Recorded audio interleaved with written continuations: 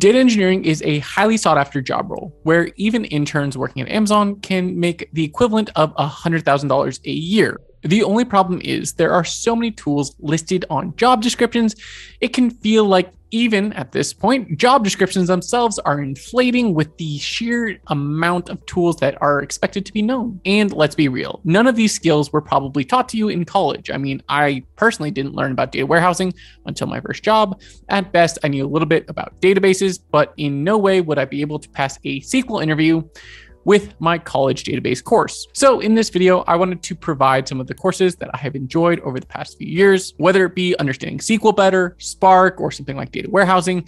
That's what we're going to discuss in today's video. Now, in order to learn anything, I personally have a specific process that I like to follow in order to kind of best keep all of that knowledge stuck inside of my brain. So let's kind of discuss this process first before going any further. Actually, you know what? I have a better plan. Give me one second.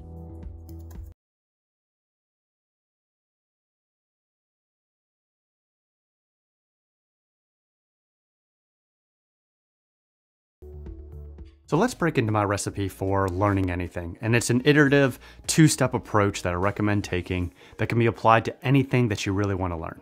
The process consists of learning it and then using it. Thank goodness for the concept of import. But one more kind of layer I wanted to add onto this was, well, the concept of layering. That is to say that Specifically, in technology, instead of learning specific tools, oftentimes it's good to build a solid base of fundamentals and then kind of layer on top of that. For example, let's talk about the all popular tool, DBT. DBT seems to be very popular these days. And when I used it first, I realized really all it is is kind of a combination of Docker, some SQL, some data modeling, because you're going to likely need that when you're building your models. And that's really about it. So if you already understand Docker, SQL, and some concepts in terms of data modeling, it'll be pretty easy for you to pick up. And that comes from the concept of layering, you know, kind of like a pyramid. It's not a pyramid scheme. It is a, it's not even a scheme per se. It's so let's start at the bottom of this pyramid in terms of skill sets, really focusing on your first kind of three core skills. And then after kind of each set of courses, I'm going to reference a few projects that you might want to try for said specific skill set. For the first skill set, you're going to have to learn a programming language. Now, I'm always kind of split on where to start in programming. Python is great because it's so easy to get started, but learning another language like let's say Java will teach you a lot of the fundamentals that honestly in Python just get abstracted away or are just simpler in general. So for this section, I wanted to recommend three different kind of options. Uh, the first is Scala for beginners, specifically by Rock the JVM. I think his course does a great job of covering the basics of Scala. It's only about 11 and a half hours, and you'll learn everything from functions to object oriented programming. And he even has a few exercises in there that are great. Again, this is only 11 and a half hours, so it's very quick, but it's enough to get you started. In particular, I enjoyed the section where he focused on functional programming and how it can be utilized, going over everything from an anonymous function to higher order functions and just breaking it all down so that if you're kind of new to this concept, you can understand exactly what's going on. Overall, this is a well put together course. Now, it is important to point out that depending on the company you want to work for, Scala or Python might be a better choice in terms of what you are learning. For example, Python is a great choice if you're going to interview at Facebook. And in fact, I always like to point out the fact that if you use something like Java, when going through our coding interview rounds, you're at a strong disadvantage because it just takes so much longer to program, just because it takes so much longer to initialize everything and set everything up. So, in general, depending on the company you're focusing at in terms of interviewing, will change what coding language I would recommend you learn. But if you do want to learn Python, here are two options one free and one paid. For the free option, you can go with Programming with Mosh's six hour intro course on Python. Hi, my name is Mosh, and I'm going to be your instructor in this Python course. In this course, you're going to learn everything you need to get started programming in Python. He really goes over a lot in that six hours, so it's very packed. And he ends up doing this like every year. So there's like a new one that comes out every so often. You do probably want to make sure you're looking at Python 3. Um, I'll put a link below, but it's a great course to get started with. He goes over everything from data types to for loops to functions to classes and so on just about everything you need to know to get started in terms of Python. From there, you likely can take on some of your first projects, which we will get to here in a second. But before that, you can check out the University of Michigan's Python 3 course on Coursera, where they go over a lot of the same concepts they will talk about things like your basic data types, functions, classes, inheritance, and a lot of other important topics. At the end of the day, it will be about how you apply these topics. And although there are some exercises and possible projects that you can do for the University of Michigan, overall, I think it is about you kind of creating your own custom projects. So let's talk about a few examples. Now, if you really are just starting out with programming, you should do something very simple, right? Just do something like a rock, paper, scissors game or tic tac toe. It's not exciting, but if you execute it well, it really will go over a lot of complex concepts that for you are new. So it's important to kind of just layer that in. But if you're a little more familiar with programming, I would say do something like build a Flask website where you're going to learn a lot more than just programming, but also how to kind of initialize um, different libraries with Python and kind of set everything up. It is a little more complex, but it's a lot more fun personally to kind of have a basic website that you've built. So I think one of those three projects for people beginning, depending where you're at, isn't a bad option. Now, Python and Scala are more for programming, but a lot of data manipulation tends to still be in SQL, and most companies will still interview you with SQL questions. So it's important that you understand how SQL works. Now, in my previous list for my roadmap, I put up Khan Academy's videos, which are free. So if that's what you'd like to do, it's great but it really is just the basics and it doesn't go over as much in terms of database design.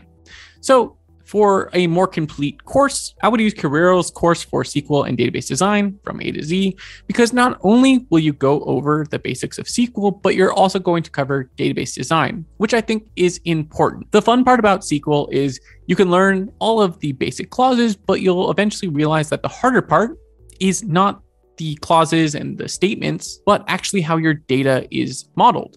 This is something that's important to understand that SQL is less about the actual syntax and more about how you're modeling and changing the data with that syntax.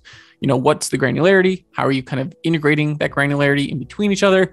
That's really the more important concept to learn. So you don't just need SQL, but you need database design. And in this course, you will not only go over again basic SQL concepts like where clauses and selects and froms and what everything means. You'll also go over some more advanced concepts, but more importantly, go over things like first, second, and third, normal form, and how to kind of design a database beyond just again some select queries. If you're an analyst, then probably all you need is some select queries and understanding how to join tables and some basics such as that. But as you become a data engineer, you need to understand the different forms of modeling, whether it be data warehouse design or just a standard database. This is very standard on almost every interview you will ever do, whether it's Amazon or Facebook or anything else in between, because how you model data matters. Now, in terms of projects, if you need inspiration, I think Felipe Hoffa has got a ton. Um, he works over at Snowflake and does a great job of just curating a lot of project ideas on his Medium. I would check it out. There are a lot of really fun projects there where he looks at things like GitHub and GitHub repositories and does some analytics on it, like trying to figure out which programming language in like Stack Overflow has the quickest answer.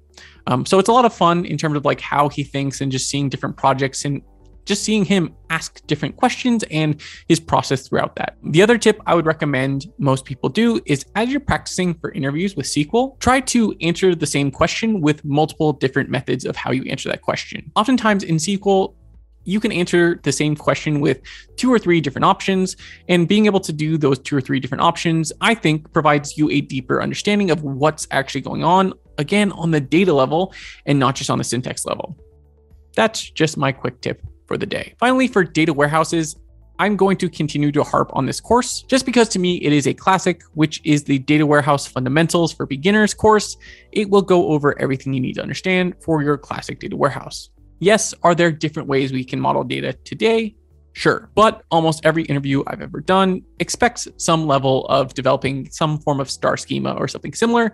Because although, for example, working at Facebook, we have slightly different modeling, using something like star or snowflake schema just acts as a standard, especially when interviewing, just because it's hard to know what kind of standard anyone was using, depending on what company they worked at. So it's like using the GRE or the SATs as just a general standard. Maybe there are different sets of standards when you come internally at the company, but it's hard for you to know what those are, and most people understand star and snowflake schema. So if they give you a question on that, you should be able to answer it. In terms of projects, I would say go open up Lucidchart and practice designing a data warehouse. Pick a specific application or topic that you'd like to look at. Uh, again, I've referenced in the past that a lot of people will often ask about like creating a data warehouse design for a college with things like grades, professors, students, classes, and courses, and things of that nature. Also, possibly picking some sort of app that you really like, like Uber, and design a data warehouse for that. And that's a great way to kind of play around with data warehousing. Now, again, this is the fundamental foundation. You've built the ground floor, you've built your foundation. Everything else can kind of start building off of that. For example, personally, the next kind of level in this progression is the cloud. Learning some level of cloud, I think, is important because everyone is using either AWS, uh, Azure, GCP, or something similar to one of these three. I mean, I saw someone's resume recently that said Huawei Cloud. So, you know, even Huawei has a cloud that I did not know of. So, you will need to understand the basics of most clouds. Now, for that, I would say either look at GCP's cloud engineering certificate, which I think is great because it goes over a lot of the fundamentals, starting with things like, you know, just understanding storage and VMs and things of that nature, and then building from there and going eventually into things like Kubernetes and how you can launch all of that on GCP's cloud. Again, it's a lot of basic fundamentals that will help you then build future projects on top of it. In particular, the section that I really enjoyed here was the scaling and automation section, mostly because I keep hearing about Terraform, and this was a great kind of quick course that covered a little bit of Terraform and how you can utilize it on GCP. Now, I will say that it is a pretty broad course where this covers a lot. So if you really want to dig in more into a specific thing, like for example, for me, Terraform, I would find a more specific course, but this will do a great job at just helping you understand the vastness of what you can do with something like GCP. And of course, you're probably asking at this point wait, what about AWS? Now, for that, I would recommend the Ultimate AWS Certified Solutions Architect Associate for 2022. What I really like about this course is they've tried to upkeep it for the last few years. So they've done a lot more than just kind of put out a course and then let it kind of deprecate over time, but they've really tried to upkeep it. In fact, checking out, I'd say the last time they updated this was October 2021. So I think they do a really good job in terms of trying to keep you up to date, both in terms of the concepts that you'll learn, as well as making sure that you will be able to pass the exam regardless of kind of what changes. Personally, I recently used this to kind of relook at my understanding of identity and access management, as well as digging more into some of their solutions architecture sections where they talk about event processing and high performance computing. Those sections were a great way to enhance and review a lot of the knowledge that I understand for AWS. And that's kind of why I like doing a lot of these courses is not just to learn these skills for the first time, but review them as I go forward because these things change all the time and AWS is constantly providing new services or changing how their current services operate. So it's important to kind of keep on top of all this information. In terms of projects here, if you've got the basics in terms of programming, database design, uh, SQL, as well as cloud, you can now start building your first website.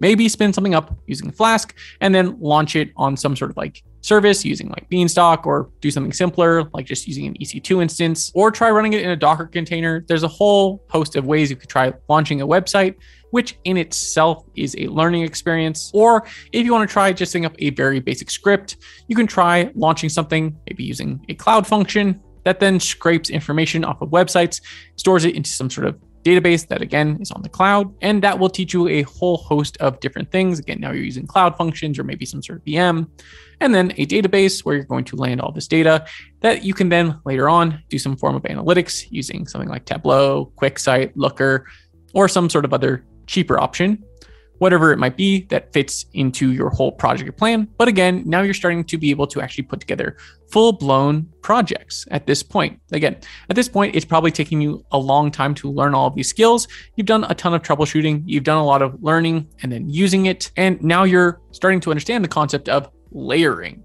Again, now you've layered things again, like your basic skills like programming, like SQL, like database design with things like the cloud, which will likely also force you to understand the command line, all of which build your core skill sets. And from here, you can start now further developing a lot of other more complex skill sets, such as things like learning distributed computing, machine learning, streaming, and a lot more complex concepts that re- kind of require you to have this base level of knowledge. You will, in general, need to use some sort of programming language to do most of these skill sets, or at least to interact with these systems. So once you've developed that core layer, now you can understand the cloud. You can start spinning up services on the cloud for things like Kafka or Kinesis for streaming, playing around with different ways you can kind of launch or implement machine learning models, and use managed services for a lot of your distributed computing. But that will be in our next video on the top courses for your advanced data engineering skill sets, which the fact that I have to make two different videos for the top courses for data engineers in 2022 should tell you how many skill sets we're expected to know, but who said that six figure salary came easy? Well, guys, I will see you next time. And I just want to say thank you so much for supporting this channel and have a wonderful day. Goodbye.